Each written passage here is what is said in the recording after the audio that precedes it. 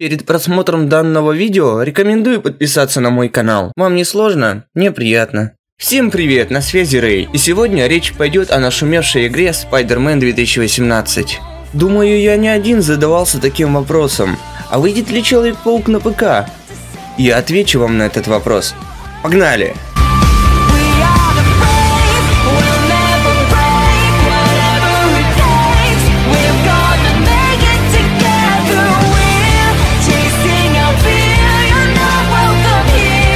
Одним из эксклюзивов платформы PlayStation 4, анонсированных в прошлом году, является Spider-Man от студии Insomniac Games. Разработчики Sunset Overdrive заключили эксклюзивный контракт с Sony на создание проекта, релиз которого состоялся 7 сентября 2018 года. Согласно разработчикам, игра никогда не доберется до Xbox One или PC. После анонса игры Spider-Man ходили слухи, что проект является временным эксклюзивом PlayStation 4. Сама Sony и Insomniac Games несколько раз их опровергали, сообщая, что ведется разработка только PlayStation 4 версии проекта. В рамках очередного интервью представители студии Insomniac Games пояснили, что речь о версии для Xbox One и PC никогда не велось. Сама Sony владеет лицензией на Человека-паука. У компании долгосрочные права на персонажа, которые заставляют даже создателей фильмов, комиксов и других проектов с участием героя обращаться к Sony. При этом и Sony обратилась к некоторым компаниям для того, чтобы персонажи комиксов Marvel, на которых у них нет прав,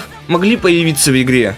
Как-то так. Мне тоже обидно, что игра не выйдет на PC. Но не будем терять надежды, ведь всякое может быть. Всем спасибо за просмотр. Пишите комментарии, что вы думаете. Пообсуждаем вместе. Всем удачи. Пока-пока.